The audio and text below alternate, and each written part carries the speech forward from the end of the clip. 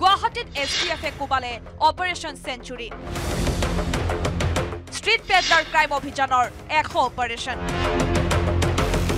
স্বাধীনতা দিৱসৰ ক্ষণত এছ টি এফক প্ৰশংসা D G P G P সিঙৰ। এইখন গুৱাহাটীৰ চুকে কোণে ধাৰাবাহিক অভিযান চলোৱা স্পেচিয়েল টাস্ক ফৰ্চৰ আছিল এই বিশেষ অভিযান। ধাৰাবাহিক অভিযানৰ দৃশ্য এইসমূহ ফটোগ্ৰাফত। বিশেষকৈ ৰাজধানী চহৰ গুৱাহাটী মহানগৰীৰ এনে ব্যস্ত পদপথতে গঢ়ি উঠে এনে নিষিদ্ধ বজাৰ যি বজাৰখনত চলে অবাধ দৰ দাম একাংশ নৱপ্ৰজন্মক মৃত্যুৰ মুখলৈ তিল তিলকৈ ঠেলি দিয়া এই বজাৰখন নিষিদ্ধ কৰাৰ অৰ্থে এছ টি এফে অব্যাহত ৰাখিছে ধাৰাবাহিক এই অভিযান। মাৰাত্মক ড্ৰাগছ নকল সোণ টকাৰ বিৰুদ্ধে অব্যাহত অভিযান।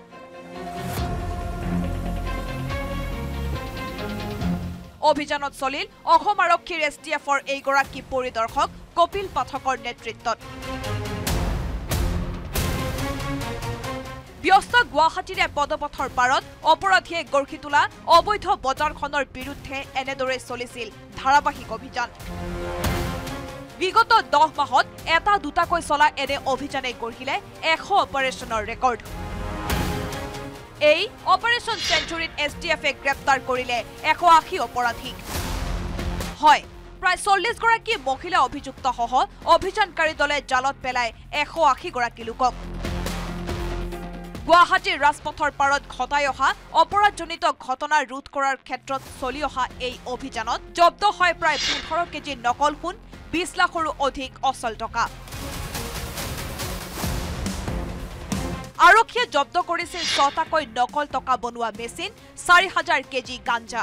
ব্যস্ত বজাৰ বাছ আস্থান ৰেল ষ্টেচনত এইগৰাকী আৰক্ষী বিষয়া কপিল পাঠকৰ নেতৃত্বতে এছ টি এফৰ এই পাঁচজনীয়া দলে বিগত দহ মাহত জব্দ কৰে তিনি হাজাৰতকৈ অধিক হেৰইনৰ কণ্টেইনাৰ।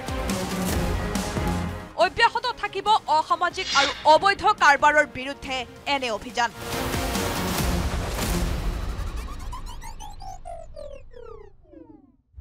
কংগ্ৰেচুলেশ্যন হাণ্ড্ৰেড অপাৰেশ্যন আৰু এইদৰে আৰক্ষীয়ে কোনো আপোচ নৰখাকৈ অপৰাধীৰ বিৰুদ্ধে চলাই যাওক এখন নিৰ্মূল অভিযান।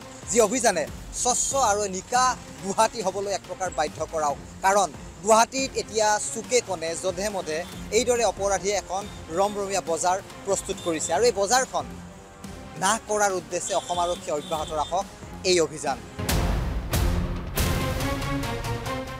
দেশৰ আঠসত্তৰ সংখ্যক স্বাধীনতা দিৱসৰ প্ৰাক্ষণত বিগত কেইটামান মাহত এছ টি এফৰ এই হাণ্ড্ৰেড অপাৰেশ্যনক লৈ সুখী খুদ ডি জি পি। গুৱাহাটীৰ পৰা দীপাংকৰ দাসৰ report news eighteen Assam north east.